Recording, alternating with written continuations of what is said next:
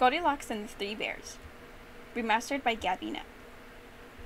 Once upon a time, there was a little girl with hair as bright as gold. Her name was Goldilocks. Now, Goldilocks loved to walk in the forest without any adult supervision because she didn't like authority. One day, as she explored a new path, she came upon a house in the middle of the forest. Compelled to check it out, she crept over to the house and peeked through its windows. It looked like no one was home. Goldilocks wanted a better look inside. She tried opening the door, but it was locked. Determined, she picked up a big rock and broke the window without a second thought. She took off her coat that her mother made for her and draped it along the windowsill and pulled herself up through the window. Goldilocks was instantly hit with a sweet smell of porridge. Rather hungry from the effort of breaking into a house, she decided to find the food and try a bite.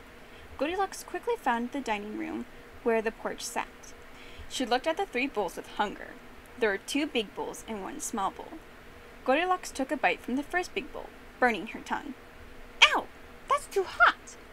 She took a bite from the second big bowl. Her tongue is cooled, but because the porridge was cold, it didn't taste good. Gross! It's too cold! Tut! The small bowl was the best bowl. Yummy! That was just right! Eager to explore more, Goldilocks wandered about the house until she found the living room. There were two big chairs and one small chair. She sat on the first big one. It was like sitting on concrete. That's not soft enough. Goldilocks went to the second big chair. She sank down like a hot rock in a marshmallow. This is too soft. She then went to the small chair. It was nice and comfy, like sitting on a cloud. This is just right. She turned on the TV and watched some cartoons.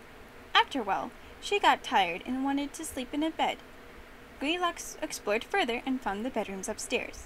In one room, there was one big bed, and another, a small bed. She went to the first room with the big bed. She lay down on one side. This is too firm. She rolled to the other side. This is too soft.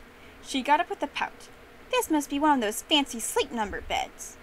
She walked into the room with the small bed. When she had her head on the pillow, she was fast asleep. The family of three bears were on their walk. Papa Bear got an alert from their home security app that there was suspicious activity at the house. Papa Bear turned to his husband and exclaimed with a big yell, We need to get back to the house now! Papa Bear picked up Baby Bear as Daddy Bear took the lead, beelining back to the house as he contacted the police. The Bear family arrived at home as the police screeched to a stop. Daddy Bear gasped, oh, The window! The Bear family rushed inside, followed by the police. In the dining room, the family stopped and looked around for anything missing. Someone took a bite of my porridge! Daddy Bear roared. Someone took a bite of my porridge, too! And look, they spat some out! Papa Bear screeched. Baby Bear dropped onto the floor, banging on the wood with his fist and feet. Someone ate my porridge and they hadn't eaten it all! Investigating the living room, they noticed the chairs had been sat in and that the TV was on. Papa Bear crossed his arms. The audacity! Do they think they're gonna be paying the bills? Daddy Bear aggressively turns off the TV with a huff. Upstairs, looked in each room.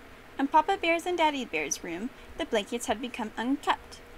Someone had slept in our bed, Daddy Bear growled.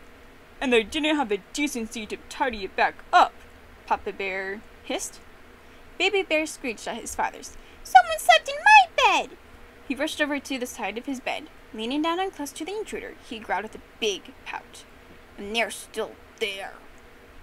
Finally, after all the screaming and shouting, Goldilocks woke up. Seeing Baby Bear's face so close to hers, she screamed, like so.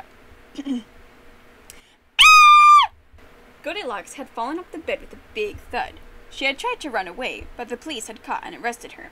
Unfortunately, throughout the chase, Goldilocks had managed to break a mirror, a coat rack, and not one, but two ceiling lights.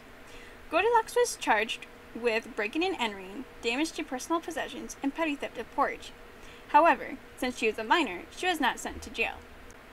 As an alternative, Goldilocks' moms had to pay a hefty fine for each charge, and Goldilocks now has to have an adult supervision anytime she wants to go out on a walk.